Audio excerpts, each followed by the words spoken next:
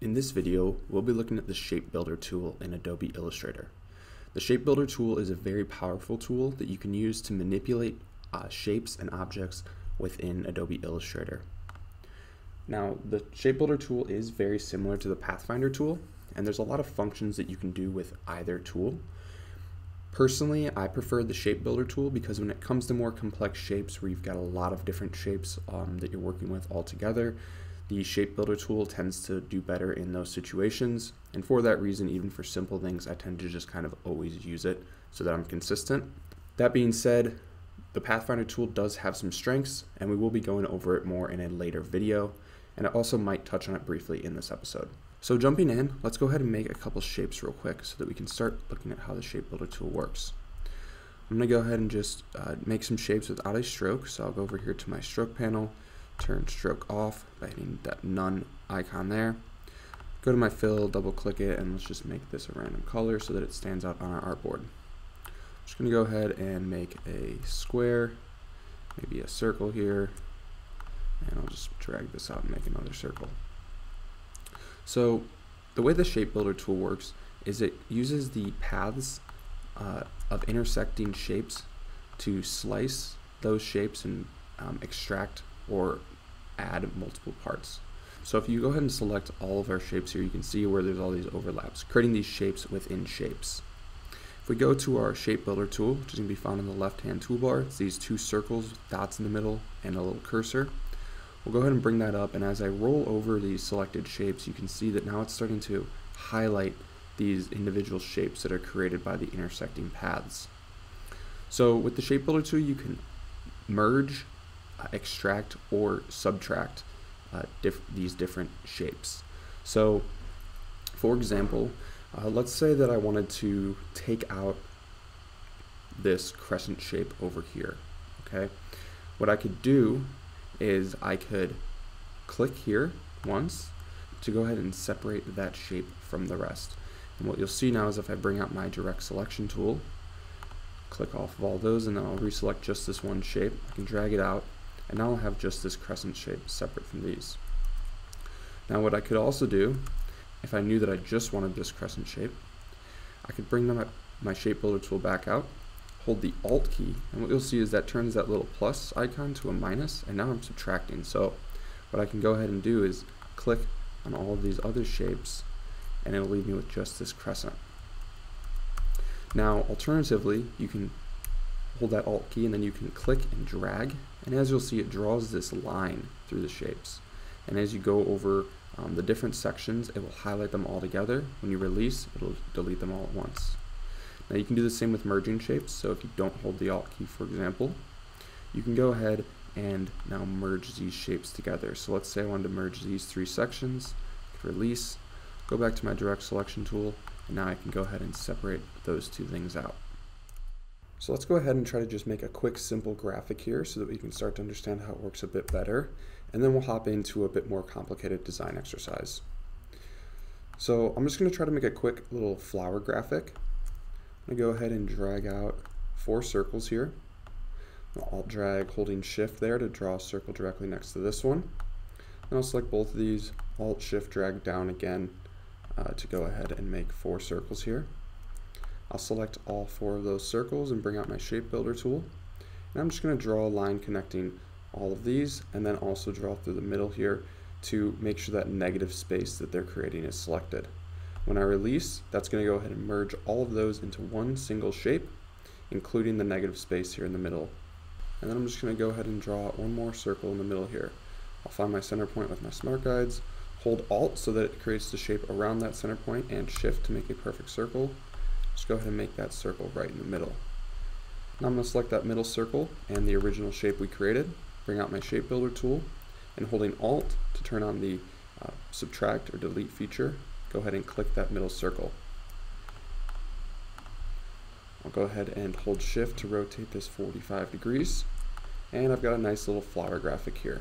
Now let's go ahead and move on to a more complicated exercise. So what I want to do in this exercise is try to replicate uh, this design that I made here. So let's say you're creating a graphic for some sort of company with the initials IG. Um, and we want to create this kind of overlapping effect here where it looks like the letters are woven together.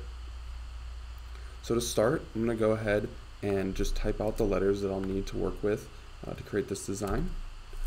So I'm going to go ahead, just type I. And for this uh, design, I'm going to be using the Rockwell font. I'll use uh, Rockwell STD. Next, I'm going to duplicate that and type out a G. Now to work with these with the shape builder tool, I'm going to need these to be actual shapes, not live text objects, which means I'm going to need to expand them. However, as we know, once I expand them, they will not be editable anymore. So I am just going to bring over the live text, uh, just make a duplicate of them so that I've got them in my file if I should need to edit them later for some reason. Go ahead and highlight both of these, go to Object, Expand, and hit OK. Alright, so now what I've got to do is make this I longer. I don't want to simply expand it up like this, um, because as you can see, now this letter is wider than my uh, other letter, the G over here. So what I'm going to do instead is I'm going to go ahead and bring out my direct selection tool. I'm going to click and drag to highlight just this top section so that only the top anchor points and paths are being selected and when I'm manipulating this text the bottom will not be affected. Then what I'm to do is grab this path, hold shift and just drag up in a straight line. About like that looks good. Now what I'll do is grab my normal selection tool again and bring the G over onto the top onto the top of the I here using the smart guides to align it to the center. Alright, so now that I've got these stacked and aligned how I want, before I actually start cutting the shapes, I am just to go ahead and grab both of these, make another duplicate. I like to do this at various stages throughout the project so that if I do mess something up, I don't need to completely restart and I've got this uh, fresh canvas as a starting point again. So to start, I want to go ahead and make this top cut in the G here. So this is the section where it looks like the I is overlapping the G. And while I'm doing that, I want to keep in mind that I want this, uh, these gaps here to be the same uh, width as the gaps that I eventually make down here on the bottom in the I. So to go ahead and do that, what I'm going to do is duplicate this I, because I want to have a second copy of it to essentially use as a cookie cutter. So what I'm going to do is I'm going to hit Command C on my keyboard with the I selected, that'll copy. And then what I'm going to do is hold Command Shift and hit V. Holding Command Shift when you hit V pastes in the same exact spot as you copied from. So what you can see here is if I drag this out, there's actually a copy here um, that was directly on top of the original I. Just for ease of use and distinction, I'm going to go ahead and make this top copy pink. And then what I'm going to do is I'm going to use the arrow keys to nudge. So every time I hit the arrow key, it will nudge it an equidistant amount. So I'm going to go ahead and do five nudges out. One, two, three, four, five. And I think that's a pretty good distance for my cut. Now I want to make this cut on both sides, so what I'm going to go ahead and do is I'm going to go ahead and alt drag to make a copy of this pink I. I'm going to line it back up with the original one, and then I'm going to nudge it back the other way five times. One, two, three, four, five. So now I know that these uh, new lines here are equidistant from the original down beneath them. I'm going to select both of them, and then this is where the Pathfinder tool can come in handy. Instead of trying to use the shape builder to go through and merge all these like this, which you could do, um, I'm just going to select both of these top pink eyes. I'm going to go ahead and open my Pathfinder tool, which currently is not showing. So I'll go to Window, Pathfinder. I'm just going to go ahead and snap this over onto my toolbar. And I'm going to get hit the first one here, which is Unite. So that is going to go ahead and just merge the selected shapes. And this is the one Pathfinder tool that I use probably most often. Alright, so now I'm just going to go ahead and select this pink shape. This is going to be my cookie cutter form.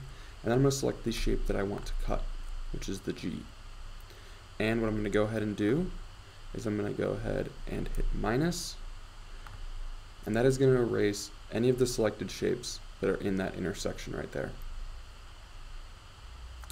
Now I'm going to go ahead and click off of that to deselect the G and then just select the pink bits here and delete. Now what you can see here is that it's erased just this one selected section of the G where the cookie cutter and the shape I wanted to cut intersected. So next I'm going to do the same thing down here to make uh, this intersection here to create the illusion of the G overlapping the I on the bottom. So this is going to be the same concept. I'm going to go ahead and select my G I'm going to hit Command C, Command Shift V again to go ahead and make that copy here right on top. Make this a color again so it stands out. And this time I'll nudge it up five spaces. So one, two, three, four, five. Alt drag down to line it up with that original one and then nudge it five times downwards. One, two, three, four, five. Go ahead and select both of these pink shapes. Go to my Pathfinder tool, unite them, and then I'll go ahead and select that pink form and the I. And I'll go ahead, bring my shape builder tool out and subtract that section there. Now I'll go ahead and erase the pink parts. And as you can see, I have now got this original design that we set out to create. So as you can see, that's a very powerful tool and it really helps us manipulate shapes in a lot of cool ways. Um, but it can be a little bit complicated and so you kind of understand how it works, it can be kind of difficult to kind of reverse engineer um, and figure out you know, what shapes you need to put where in order to make the right cuts and manipulations. Um, to help you kind of get a grasp of that, I did just build a bunch of uh, objects with the shape builder tool here, a bunch of little designs. They kind of range in complexity from very simple to more complicated down here. And if you want, you can just kind of, um, you know, pause on this frame, open up Illustrator, and look at each one of these shapes and try to figure out how you'd make it uh, in Illustrator using the Shape Builder tool and some basic shapes. Now, a qu couple quick little tips. Just remember that when you're working with text, you'll need to expand the text um, to make it shapes before you start working with it. And also, uh, don't get confused by the fact that these are all uh, outlined objects. Uh, if it helps you, think of them as filled in objects here. So when I was making these shapes, for the most part, I made them like this with the with a fill selected here. Um, but then once they were created, I went ahead, hit this button to swap fill and stroke, uh, made them into outlines, and then put my stroke at 8. So if you want some practice, just go try to go ahead and go through, starting at the top left, and you're working your way through, and um, kind of try to reverse engineer these designs and see how you can make them using simple shapes and the shape builder tool.